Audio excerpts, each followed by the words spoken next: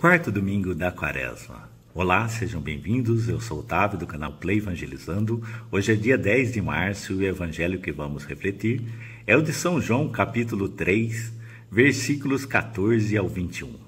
A liturgia desse quarto domingo da quaresma, o domingo da alegria, nos traz esse encontro e diálogo de Jesus com Nicodemos.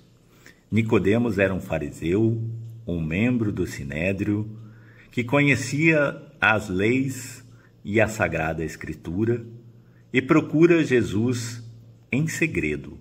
Na escuridão da noite, ele procura aquele que é a própria luz. E Jesus lhe faz uma revelação importante, profetizando a sua morte na cruz no Calvário.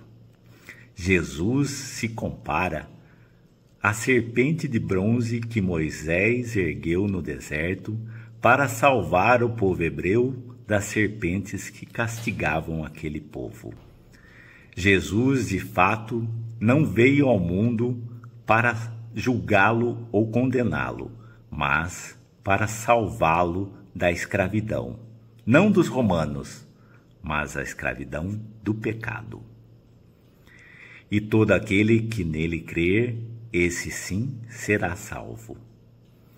A crença que Jesus nos pede aqui não é apenas acreditar na sua existência, mas sim renunciar ao pecado, renunciar a si mesmo e seguir o seu exemplo, os seus ensinamentos, a sua palavra.